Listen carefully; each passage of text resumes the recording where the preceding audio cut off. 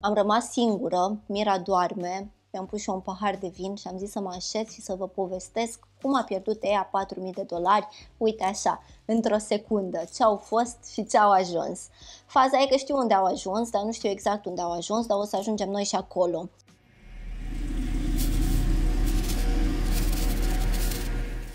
Ideea e că inițial nu voiam să vorbesc despre asta aici în online, dar m-am răzgândit și am zis că poate cineva o să învețe ceva din povestea mea. Eu sigur am învățat multe și uh, ieri când s-a întâmplat treaba asta am trecut prin foarte multe stări, de la disperare, la împăcare și la fericire, pentru că am simțit că am învățat ceva din toată această experiență și da, știu că e ciudat să zic că am fost fericită că am pierdut bani, dar chiar am învățat foarte multe într-un timp foarte scurt și de aceea am decis să împărtășesc cu voi ce mi s-a întâmplat.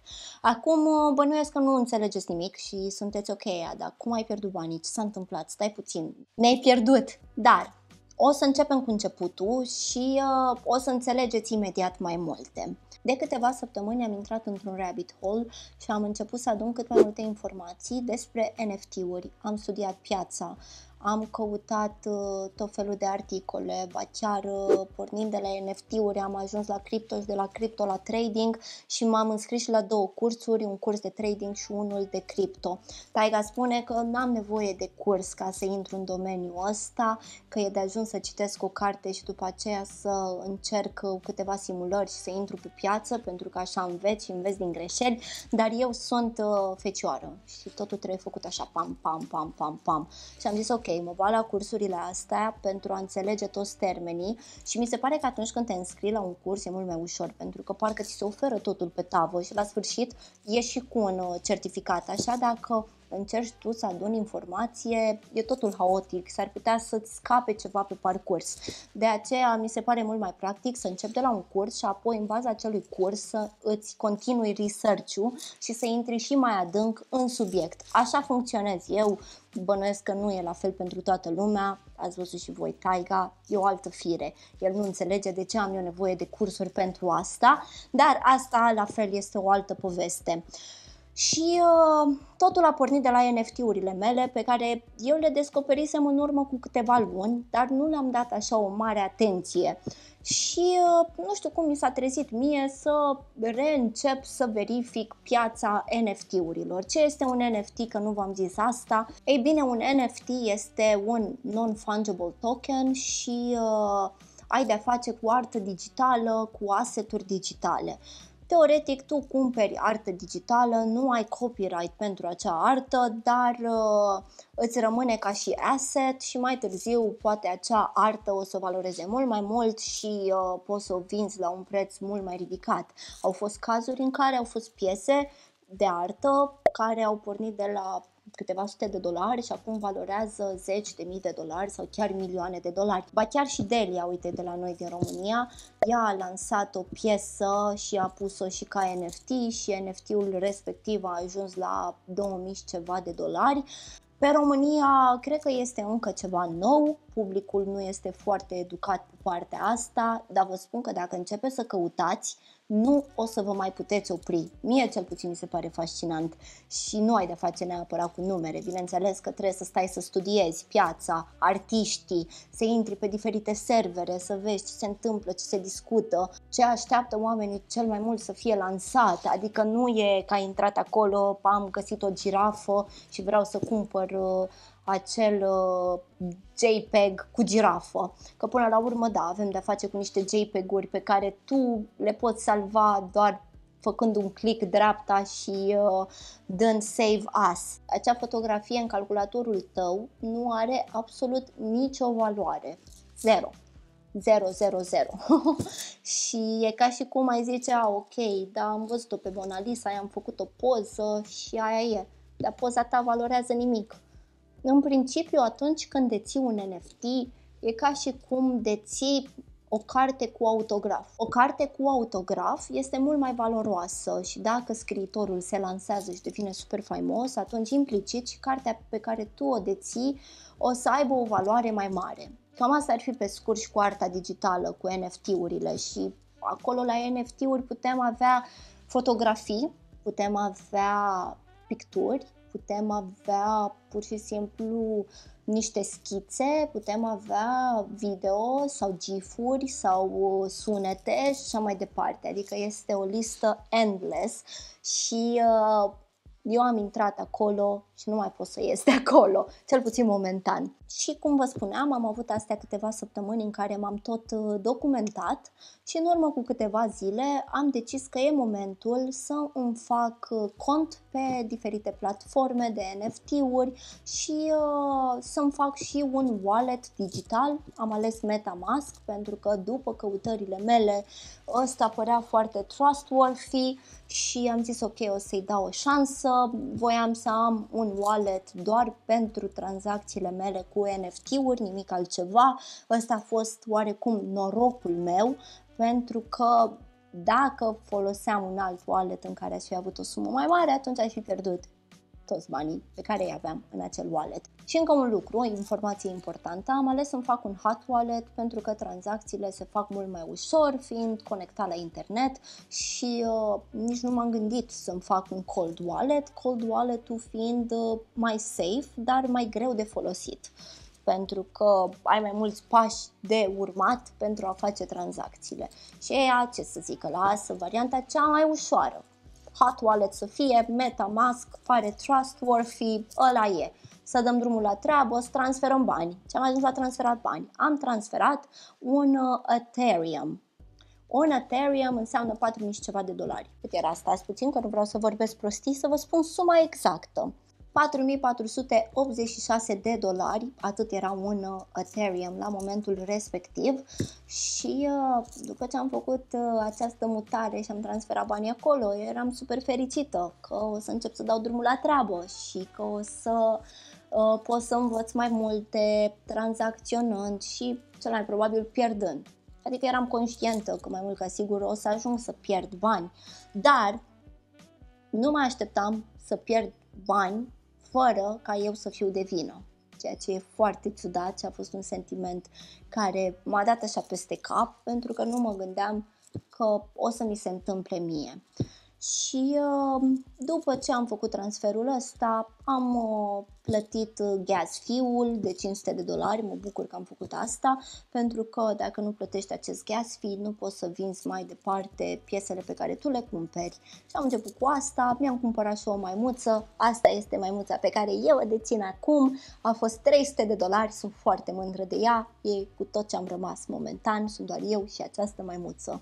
Cum să o numim? Ar trebui să-i dăm un nume acestei maimuțe, poate să-i zicem Lucky Monkey, să fie maimuța cu noroc, maimuța care o să mă ajute să-mi recuperez banii, da, nu neapărat să-i recuperez, că mi-am luat gândul de la ei. Acum, ca să înțelegeți ce s-a întâmplat, că ați prins așa cât de cât ideea, ați văzut care a fost cursul și cum am ajuns în punctul ăsta de aveam 4.000 și ceva de dolari în uh, portofel. O să vorbesc în dolari că e mai ușor de înțeles pentru toată lumea și după tranzacțiile pe care le-am făcut am rămas cu 3.000 și ceva aproape de 4.000 de dolari oricum, pentru că Ethereum crește de la o zi la alta și poate că în ziua în care am făcut eu screenshot-ul ăsta aveam 4400 și ceva, dar în ziua următoare era un pic mai mult și așa mai departe. Ethereum momentan pare o investiție bună, vedem ce o să se întâmple pentru că momentan e așa, dar la un moment dat se poate să ajungă așa, dar la fel asta este o altă poveste.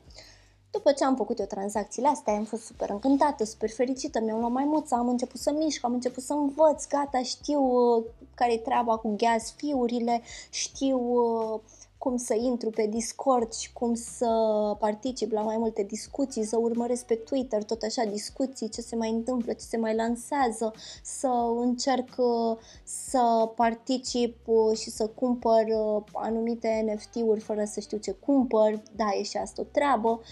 Și m-am dus la somn atât de fericită, eram tare mândră de mine că am luat maimuța asta. Și a doua zi când m-am trezit, îmi fac o cafea, vorbesc cu Sergiu, fratele meu, la telefon și deschid laptopul să văd ce face maimuța mea și uh, să vedem ce se mai întâmplă. Ce se mai întâmplă cu NFT-urile pe care eu le-am adăugat la favorite, cresc, nu cresc, au scăzut, au mai cumpărat oamenii NFT-urile respective sau nu și așa mai departe. Voiam să studiez un pic, că mai nou asta fac în fiecare dimineață, intru și verific acolo. Și când intru pe wallet, walletul meu era pe zero. 000 în condițiile în care eu trebuia să am 3800 și ceva de dolari rămași. Zero.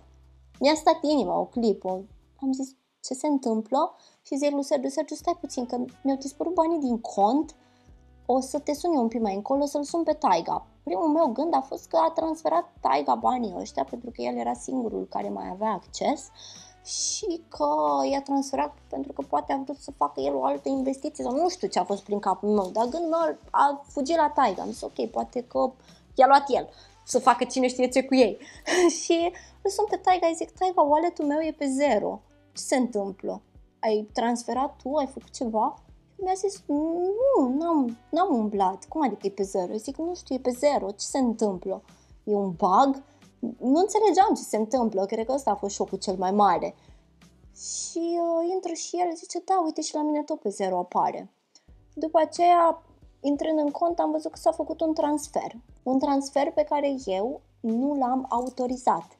Și uh, transferul ăla era făcut din contul meu către un alt cont. Dar tu nu poți să vezi contul, adică poți să vezi o adresă, dar adresa respectivă nu este asociată unui individ. Adică tu nu poți să afli numele persoanei de la celălalt capăt și așa mai departe. Nici măcar IP-ul, probabil că poți să afli IP-ul dacă angajezi niște hackeri ca să hăcuiască hackerii. Pentru că asta s-a întâmplat. Am fost hăcuită. Cineva mi-a luat toți banii din cont și uh, în ziua respectivă, am, ieri, adică, am stat și am căutat cât mai multe informații pe acest subiect. De ce se întâmplă? Cum se întâmplă? Știam că foarte multe conturi sunt hăcuite și că se pierd, nu știu, sute de milioane de dolari în Bitcoin pe an, tocmai din cauza acestor hackeri, dar uh, M-am culcat așa pe ureche, am zis, aia nu o să mi se întâmple mie, n-am cine știe ce sumă în cont, 4.000 de dolari, ce fac ei cu 4.000 de dolari, să șterg ei la fund. Ei targetează niște conturi mai mari, nu o să targeteze contul meu. Asta a fost în capul meu, sincer vă zic.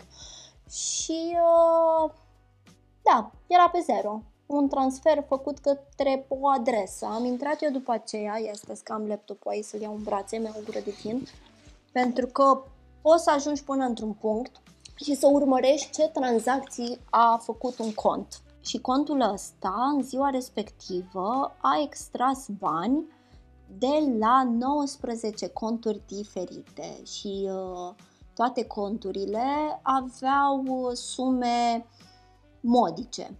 Adică nu au luat ceva foarte mare, ci au extras de la mine 3.000 și ceva 4.000 de dolari, de la altă persoană iar 3.000-4.000 de dolari, de la altcineva 500, de colo încă 200, adică au jonglat așa un pic.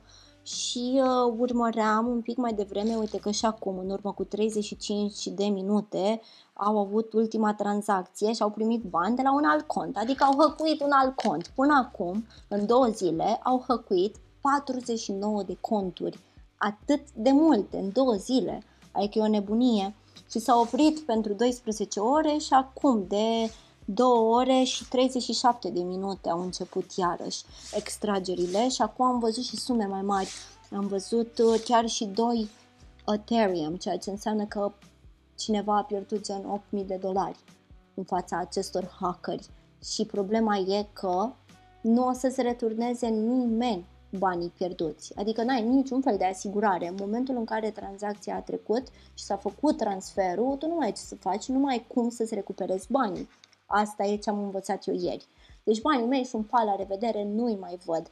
Ce pot face în schimb este să urmăresc aceste tranzacții și să urmăresc când acest individ încearcă să facă o tranzacție cu un exchange și ăla e momentul în care eu aș putea să-l prind pentru că pot să contactez acel exchange și acel exchange să mă ajute să dau de această persoană. Adică e o treabă destul de complicată și trebuie să stau în fiecare zi și să urmăresc ce face această persoană și văd că banii mei stau bine mersi la el în cont. E destul de dubios, sincer, și hackerii ăștia sunt chiar foarte deștepți. Acum, primul pas pe care eu l-am făcut în momentul în care am fost hăcuită în momentul în care am realizat că am fost hăcuită, pentru că nu puteam să realizez eu tot. Speram că e un bug. Și uh, după ce m-am împăcat cu ideea asta, am intrat și am depus o plângere la antifraudă, am explicat acolo tot ce s-a întâmplat, avem un Cybercrime Reporting Center, sunt vreo două, eu am apelat la cel din UK, ar trebui să primesc un răspuns în 20 ceva de zile, dar în 20 ceva de zile ăsta o să mai spargă încă câteva sute de conturi și pe urmă, pa, la revedere, nu mai dă nimeni de el. Taiga spune că e foarte ciudat că acest om face atât de multe mișcări pe un singur cont, pentru că riscă să fie prins mult mai repede, pentru că de obicei hackerii au mult mai multe conturi și umblă din mai multe părți, adică au 20 de conturi și bam bam bam. Dar acum nu știu exact ce se întâmplă, nu m-am mai lovit de asta până acum. După aceea am început să mă documentez un pic mai mult și să văd cum de am fost hăcuită. Cum naibii m-au hăcuit tocmai pe mine? Cum au ajuns la mine? Ce s-a întâmplat? Nici până acum nu știu cum am fost hăcuită, dar am zis că acest laptop nu o să mai fie folosit pe nimic, pentru că eu zic că n-am downloadat nimic compromis, dar niciodată nu se știe. Citeam pe internet că se poate ca wallet-ul meu să fi fost compromis din momentul în care l-am downloadat. Cu toate că eu l-am luat de pe Apple Pay sau cum se numește, adică l-am luat dintr-o sursă sigură, dar chiar și așa știu ei cum să ajung acolo, sunt deștepți, nu te pui cu te încurci. Și uh, cred că asta a fost singura chestie care se, s-ar putea să se fi întâmplat. Dacă nu, o greșeală din partea mea a fost că mi-am ținut wallet-ul deschis tot timpul. În principiu îl închizi și că așa este indicat, ai făcut tranzacția, ai avut nevoie de ceva, l-ai deschis, după aia l-ai închis, nu-l ții deschis non-stop. Un alt lucru de care eu am ținut cont, toate tranzacțiile astea să fie făcute de pe un alt browser decât de pe cel pe care tu îl folosești în mod uzual, să cauți cum se face o mască în casă sau ce detergent se potrivește pentru piele sensibilă și așa mai departe. Și am ținut cont de lucrul ăsta pentru că îl știam Acum, o problemă cu hot wallet-urile astea e că nu au double authentication, cel puțin MetaMask-ul nu are și uh, tu ai 15 cuvinte pe care trebuie să le bagi acolo când te loghezi. Deci ai parola ta, nu ai o parolă pusă de tine. Dar uh, dacă aplicația a fost hăcuită de la început, atunci pa la revedere. Eu nu am dat acces la absolut niciun site la absolut nicio tranzacție. La fel există un site pentru a verifica dacă au fost uh, date autorizații către diferite site-uri, dacă sunt site-uri care să aibă acces la wallet-ul tău și mi-a ieșit pe negativ, nimeni nu are acces la wallet-ul meu. Ia uite și cu 54 de secunde au furat. Mm, oamenii mișcă oamenii mișcă, mișcă și mi se pare ciudat că scot niște bani din cont, dar niște sume foarte mici și n-au scos decât de 3 ori. Deci din 50 de tranzacții, 3 au fost out, restul au fost in. Sunt uh, persoane hăcuite, bani furați, am rămas fără baterie. Ok, da. Nu știu cum am fost hăcuită, rămâne o enigmă, dar uh, știu că trebuie să fiu mai atentă știu că nu trebuie să mă culp pe ureche, că mie nu mi se poate întâmpla pentru că sunt dovada clară că așa ceva se poate întâmpla. Și uh, sunt oameni care asta fac, hăcuiesc și așa își fac bani, își fac copita mai averea. Și sunt organizații de hackeri, dar sunt și organizații de hackeri care hăcuiesc alți hackeri, adică avem hackerii buni și hackerii răi. Am scris și eu unei companii de hackeri, dar nu mi-au răspuns încă, bănuiesc că suma mea e mult prea mică pentru ei. Am dat peste ei printr-un articol scris de un tip care a pierdut 300.000 de dolari și organizația asta l-a ajutat să-și recupereze banii pentru 300.000 de dolari, da, înțeleg, bănuiesc că pentru ăștia 4.000 de dolari nu merită deranjul pentru ei, încă nu m-au contactat, o să vă spun dacă îmi spun ceva, dar e fascinant că nu știam că există așa ceva, nu știam de poliția asta, cyber police, nu știam de hackeri care atacă alți hackeri, da, e o lume foarte interesantă și uh, am învățat că trebuie să am mare grijă atunci când folosesc un wallet digital și uh, cred că pe viitor o să țin banii într-un cold wallet și o să depun o anumită sumă într-un hot wallet doar pentru o tranzacție pe care vreau să o fac. Cred că asta e următoarea mea mișcare, cu toate că s-ar putea să fie mai complicat, dar măcar o să fiu safe și uh, e cel mai important. Să știu că banii sunt în siguranță și să nu mă mai trezesc că mi-au dispărut toți banii. Momentan nu știu dacă laptopul meu este compromis sau nu. Eu nu cred că este compromis, sincer. Nu ar avea cum să fie compromis, dar uh, nu se știe niciodată. Aștept să vină Taiga să mi-l reformateze, să salvez toate documentele pe care le am în el. Deja am început să mișc și să-l golesc și uh, da, Cam asta este povestea mea. Asta s-a întâmplat ieri și acum bănuiesc că înțelegeți de ce am trecut prin o mie de stări diferite. Dar uh, Taiga mă întreba, și încă mai vrei să te bași pe NFT-uri după faza asta? Eu zic, da, normal că da. Din contră, sunt și mai motivată să reușesc și nu o să mă las eu demoralizată de niște hackeri care mi-au luat banii. Foarte bine mi-au luat banii, că roata se întoarce și nu or să facă nimic bun cu banii ăștia nu e așa? e, acum încerc să-mi ridic moralul. E, e foarte zen. Sunt zen. Ieri nu eram zen deloc, am și plâns. Și uh, i-am explicat Mirei că cineva mi-a furat banii online și acum am trebuie să vorbească cu poliția. Acum a văzut că eram terminat, nu știu ce. Și mi-a dat un hug și după aceea a venit cu un leu din pușculița ei. A zis, uite mami, acum ai bani. și mulțumesc mami. A fost un gest atât de drăguț și probabil că vă întrebați de ce i-am spus Mirei toate lucrurile astea, pentru că ieri nu, nu am avut cum să petrec foarte mult timp cu ea. Am fost prinsă în laptop să adun cât mai multe informații, să văd ce pot rezolva, voiam să mișc cât mai repede și să nu las timpul să treacă, pentru că dacă aș fi lăsat timpul să treacă, atunci ar fi fost și mai greu. Am citit pe niște forumuri că au fost persoane care și-au recuperat banii eu nu mai am nicio speranță. Dacă se vor întoarce foarte bine, o să fiu fericită. Dacă nu, rămân aici cu maimuța mea și aia e. M-am împăcat, da, uite, acum pot să râd pe subiectul ăsta. Ieri eu nu puteam să râd. Ieri pe seară am început să râd pe subiectul ăsta.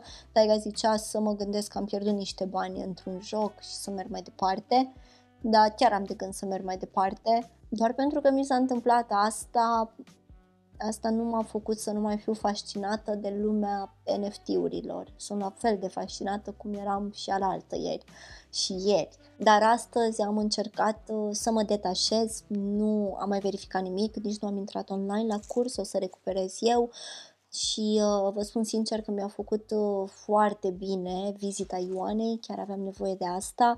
Și am stat, ne-am jucat și cu Mira, am mai povestit, am mai râs, am comandat pizza, a fost așa o seară fun și aveam nevoie de o seară de genul după experiența de ieri, cu toate că nu este neapărat o experiență foarte negativă, adică e negativă, dar se putea mai rău de atât, se putea să fi pierdut zeci de mii de euro și nu doar 4 mii de euro. Uh, pentru că au fost foarte multe cazuri. Sper să nu mi se mai întâmple asta, adevărul e că sper să nu îi se întâmple nimănui asta, pentru că nu este un sentiment foarte plăcut.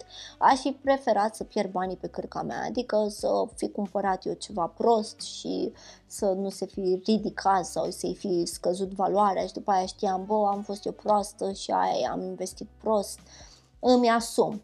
Da, așa să te trezești că nu mai ai bani în cont, e destul de scary și să realizezi că nu există nicio modalitate să-ți recuperezi banii, asta este even more frustrating la modul ăla. Dar aia important e că suntem sănătoși, suntem bine, învățăm din greșelile noastre și creștem, nu ne lăsăm demoralizați. Și asta ar fi pentru orice domeniu, nu doar pentru cripto, nu doar pentru NFT-uri, nu doar pentru trading și așa mai departe. Acum că am vorbit cu voi, parcă mă simt vinovată că astăzi am schipuit cursul și nu m-am băgat acolo online. M-am băgat și la un curs de japoneză, să știți, asta așa cu o mică paranteză, pentru că n-am mai fost constantă. Adevărul e că de când am ajuns în Cluj, n-am mai făcut nimic dar nimic. A fost perioada aia nebună cu mutarea, aoleo, să căutăm apartamente, după aia ne-am mutat, dar am fost răciți și abia acum, după, acum în octombrie, da, adică luna trecută, am început să fiu iar mai organizată și să-mi uh, reiau lucrurile pe care le făceam înainte. Și încă o treabă m-ați întrebat de bullet journal. Ei bine, aș fi ipocrită să recunosc că l-am ținut în continuare. L-am ținut o perioadă cât am fost în Japonia, dar apoi uh, am renunțat la el pentru că îmi lua prea mult timp să-l fac ceea ce nu era o problemă pentru că îmi făcea plăcere să fac asta și simțeam că mă rup puțin de absolut tot și știu că avem nevoie și de momente de genul, dar mă simțeam vinovată pentru că eram ceva de genul, ok, în loc să fac bullet journal, mai bine stau și vorbesc cu voi și vă răspund la comentarii și interacționez mai mult cu voi. Ăsta a fost momentul în care nu mi-am mai făcut bullet journal, dar acum țin tot un fel de bullet journal, dar îmi fac uh, toate template-urile pe calculator și după aceea doar mi le printez și e mult mai ușor decât să stau să mi-l fac de la zero. Asta să vă arăt. Uite cam așa se prezintă, nu aș vrea să-i dau zoom pentru că am ceva informații confidențiale aici, dar mi-e mult mai ușor. Mi-am făcut deja template-uri pentru tracker, mi-am făcut calendar pentru noiembrie, acum pentru decembrie o să fac tot pe teme, dar nu mai stau să desenez, să trag eu linii, pentru că mi ocupă prea mult timp și, uh, cum ar spune cineva, timpul înseamnă bani. și nu doar asta, timpul înseamnă multe și știu că de multe ori e bine să-ți iei timp și pentru tine, dar Aveam un screenshot aici, am crezut că am intrat pe wallet și că mi-au intrat banii înapoi. Să știți că din când în când intru pe wallet și zic, hai, poate i s-a făcut milă și au trimis banii înapoi la toată lumea. Deci eu am așa o așteptare, cu toate că știu că mă mint singură, dar mai întâi zic, hai, poate au intrat banii înapoi. Ia să vedem, au intrat înapoi. Zero. Zero dolari și nici nu mai bag nimic în wallet-ul ăsta, o să-l șterg și o să-mi fac altul. Că dacă e compromis, e pa la revedere.